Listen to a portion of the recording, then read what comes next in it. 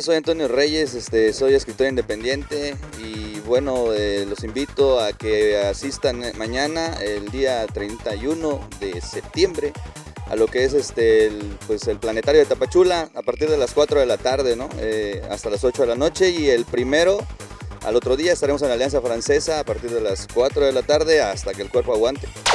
Yo voy a leer un poco de lo que es mi obra, el libro eh, Yato y otros textos soltados y mañaneros. Algo muy chido, muy emocionado porque yo soy de acá de Tapachula y es la segunda vez que leo y la neta sí quiero leer algo aquí con mi tierra, ¿no? Entonces está chido. Pues en el colectivo ya tiene también como unos seis meses, siete meses, este, conozco a la banda, conozco al Forito Nómada y empezamos a platicar. Yo ya venía trabajando desde hace tiempo también con otros colectivos. Eh, es lo chido de esto, que somos bastantes personas que, que estamos eh, haciendo cosas en el arte y, que nos juntamos precisamente ahora en el Forito Nómada, ¿no? Y pues el Forito Nómada, como dice su nombre, es eso, un foro para el artista emergente, para el artista independiente o aquel que ya esté consolidado pero que le late a estos espacios alternativos.